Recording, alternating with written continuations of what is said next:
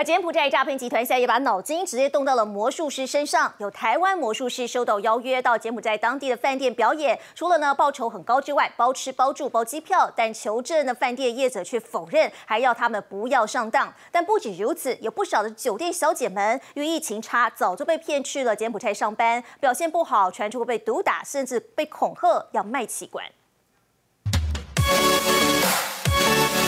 手帕变鸽子，丝巾变出长棍，魔术师精彩表演让人目不转睛。他们时常受邀国外演出，如今却成了柬埔寨诈骗集团的新目标。因为魔术圈其实一收到柬埔寨的消息，其实大家就会在讨论。呃，有个马来西亚魔术师，他报价就是呃三千块美金，然后最后也是。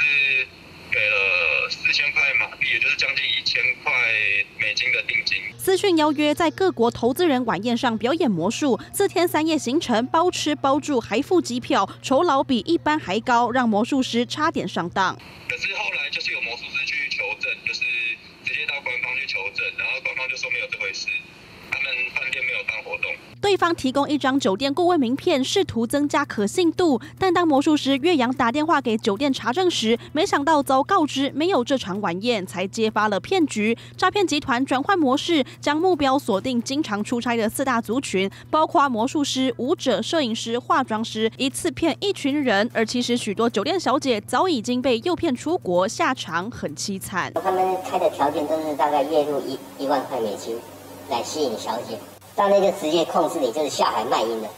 你如果不从，一定是遭到毒打。柬埔寨及缅甸人口贩子找上台湾酒店经济合作，传说诱骗八十二名小姐到当地工作，短短三个月狂捞五千万元，但小姐却置身地狱般的生活。柬埔寨现在不是，他完全就是把你吃干抹净。你如果上班接客人接的不好，他认为你没有生产的价值，他就把你当猪卖了，哦，或者去卖去割器官。